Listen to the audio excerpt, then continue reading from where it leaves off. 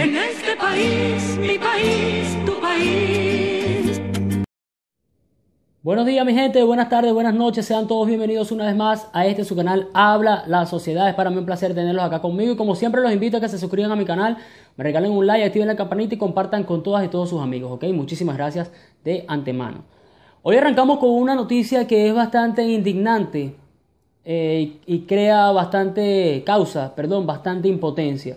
Pues resulta que una paisana venezolana en Perú fue abusada sexualmente por un taxista peruano y pese a que una persona estaba grabando el hecho, nadie se acercó a socorrerla. Vean el video. Escuchaba sus gritos de desesperación al interior de este taxi casi a las 5 de la mañana del domingo. Pedía auxilio e intentaba despertar a todos los vecinos para que pudieran intervenir y ayudarla. Era el llanto de angustia de esta joven que según testigos intentaba liberarse de este taxista, quien sería un abusador, pues lo vieron encima de ella y tratando de besarla en plena urbanización Sol de Santa Anita. La gritaba desesperadamente que le dejara que no le toque, que no le haga daño. Auxilio, auxilio. Ayúdenme, ayúdenme, diciendo pedía. Si, si quería que escaparse del auto, decía, ayúdenme, ayúdenme, chancaba el auto, todo. Según los vecinos, uno de ellos lanzó un ladrillo impactando en el vehículo. La joven que iba sentada en el lado del copiloto seguía gritando y hasta tocaba el claxon.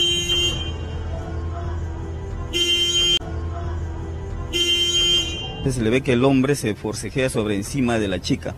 Decía que por favor que lo auxilian, por favor que salgan y le, le defiendan, ¿no? Y en ese momento no había nadie de gente transitando. Lamentablemente, en plena madrugada, los vecinos no pudieron hacer nada y el taxi siguió su camino con rumbo desconocido, llevándose a la joven, quien continuaba resistiéndose desesperada. Por ello decidieron hacer público este video y alertar a la... Aquí surge la pregunta, ¿por qué si la persona tenía la oportunidad de hacer algo, por qué no lo hizo? ¿Por qué no gritaron a, a, a pedir ayuda de varios de los vecinos? Simplemente no quisieron. Podemos ver allí que en pleno forcejeo se tocaba bastantes veces la corneta del automóvil y nadie, absolutamente nadie hizo nada. De hecho, en un momento donde se baja la, la cámara se ve que pasa un carro en dirección contraria, pero nadie hizo nada. Entonces una de las personas que habla dice que bueno, que este, se veía, se podía ver que la, la muchacha estaba forcejeando porque no quería que le hicieran nada, pero nadie actuó, nadie actuó. Entonces van a subir el video a las redes, ok, pero ¿qué solucionaron con eso si pudieron evitarlo y no se hizo nada? Ojo, esto no va en contra de los peruanos. Como siempre le he dicho, la delincuencia y el delito no tiene nacionalidad. Esto no quiere decir que todos los peruanos sean iguales. Eh, por el contrario, hay muchos peruanos que están en contra de este tipo de actitudes. Entonces, bueno, no estamos juzgando, perdón, al Perú, sino a las personas que pudieron haber hecho algo y simplemente no lo hicieron. Es bastante indignante, no solamente por la venezolana, porque puede haberle pasado a cualquier mujer de cualquier nacionalidad y esto es asqueroso, venga de donde venga. Seguimos con las noticias del día de hoy. Hay una fuga de agua en, en el estado Carabobo, específicamente en Palmasola, en Flor Amarillo. Esta fuga ya lleva bastante tiempo, no es una cosa que venga, que venga desde ayer o desde hace unos meses, sino que ya lleva algunos años. Sin embargo, está, ha tomado otro nivel esta fuga. Desde hace bastantes años se está denunciando esta situación en Palmasola porque se ha venido comiendo la calle y ahora sus habitantes piden a Dios que meta su mano. Observen el video.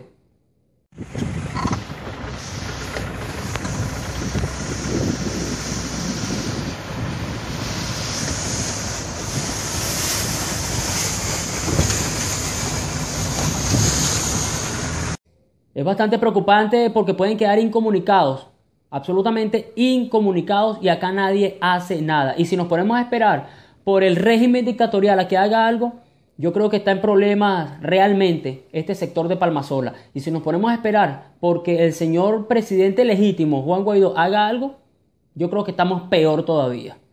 Así estamos en Venezuela, es lamentable.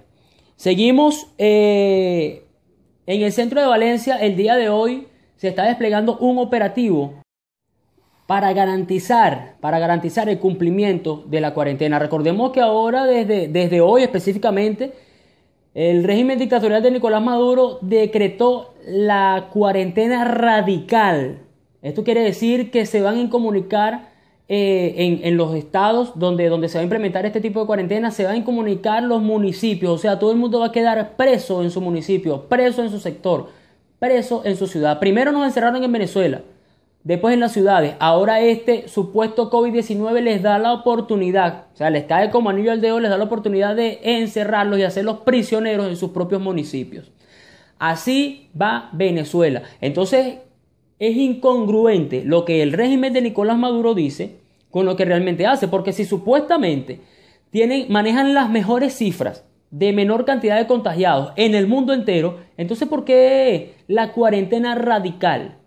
cuando ni siquiera en Europa la han dictado.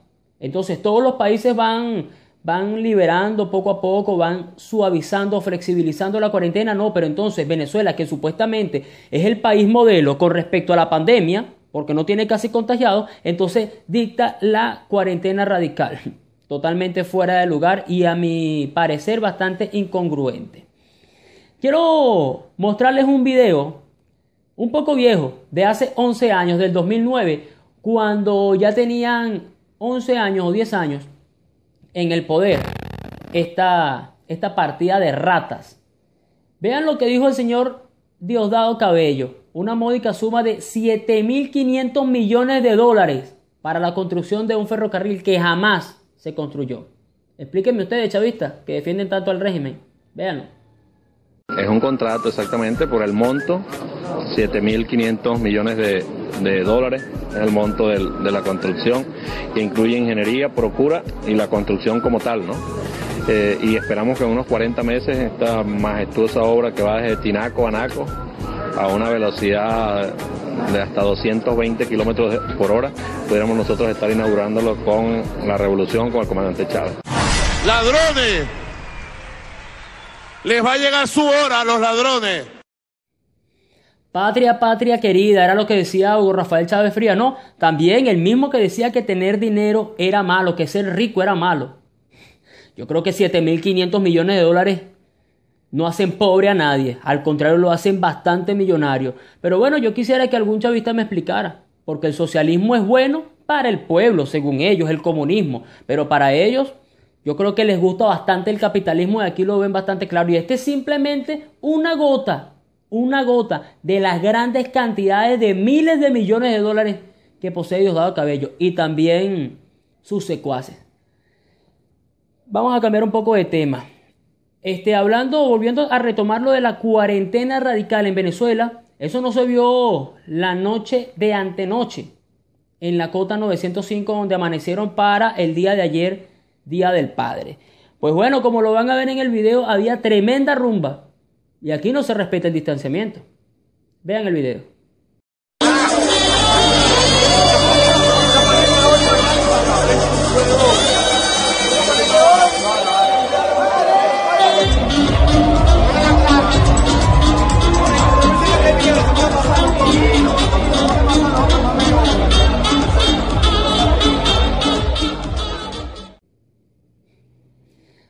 Yo pregunto por qué, por qué razón no entran ahí a la cota 905 cuando hay tanta gente. ¿Por qué el gobierno no actúa en ese momento? ¿Será porque no sabe cuántos miles de personas allí están armados de verdad? ¿Será porque se puede formar una masacre y al gobierno no le conviene? Ellos saben en contra de quiénes actuar y es una desgracia que un régimen malandro no pueda actuar en contra de una sociedad o un sector que está gobernado por malandros por miedo a una masacre. La delincuencia ha tomado bastante poder y el dictador Nicolás Maduro y su precursor Chávez son bastante culpables de lo que, de lo que viene ocurriendo en Venezuela. Pero bueno, aquí está. La cuarentena es para los sectores que a ellos les conviene. Para los que ellos pueden atacar y para los sectores que tienen que acatar sus reglas, porque la cota 905 no, no acata mucho las reglas del gobierno. Vámonos con un video de alguien que apoya al régimen de Nicolás Maduro y lo apoya desde Chávez. y es un ex deportista que siempre ha causado tristeza su actuar y, y las cosas que hacía aún siendo deportista. Estamos hablando específicamente, aunque yo sé que ya ustedes se imaginan de quién, estamos hablando de Maradona. Miren la asquerosidad que este señor todavía hace.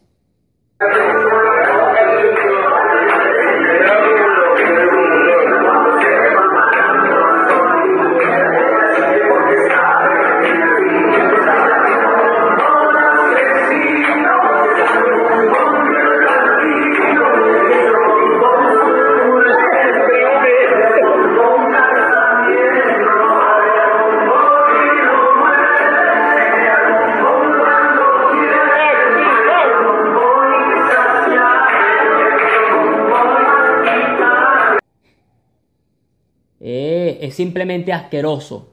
Simplemente asqueroso. No tiene nombre lo, lo que, lo, que es, lo que este señor hace. ¿Qué ejemplo le da a sus hijos? ¿Qué ejemplo le da a sus nietos? Bueno, si es que tiene, porque realmente nunca me he dedicado a investigar la vida de, de, de este ser que simplemente lo que causa es tristeza. Tristeza y asco, repulsión. Era simplemente lo que quería mostrarles. Pero ya para cerrar, vamos a cerrar con algo bastante positivo. Un, un video bastante bonito. Yo no sé si ustedes recordarán que el conde del Guácharo, Benjamín Roseo, siempre no, nombra en, en, sus presentaciones a su papá, que dice que su, su mamá era una de ojos azules, pero buscó un negro y la cuestión, siempre de manera jocosa. Acá está su padre. Miren ya cómo está. El que come tierra, que el que come tierra que estoy con día del padre, mira a traerle a Paito su Bluta2 para ponerlo fino y a visitarlo. Y él quiere decir una palabra. Saludos, Canuto. Saludos a toda esa gente. Dale más. A todo el que pregunte por mí. Ay, bueno. ¿Ya está bien? Sí. No me quiero morir que pregunte por mí. Bueno, señores, ya saben, Canuto no se quiere morir. Rumbo a los 100 años, más nada. Anda por aquí. Que Dios lo bendiga y que le siga dando muchísimos años de vida. Bueno, quizá no muchísimos, pero que sí le siga dando unos años más de vida y salud, ya que él mismo dice que no quiere morirse. Tiene ganas de vivir. Qué bonito llegar a esa edad con ganas de seguir viviendo. Bueno, mi gente, muchísimas gracias por haberme acompañado. Si llegaste hasta acá hasta el final, regálame un like, suscríbete si no lo has hecho, comparte con todas y todos tus amigos. Será hasta la próxima. Muchísimas gracias. En este país, mi país, tu país.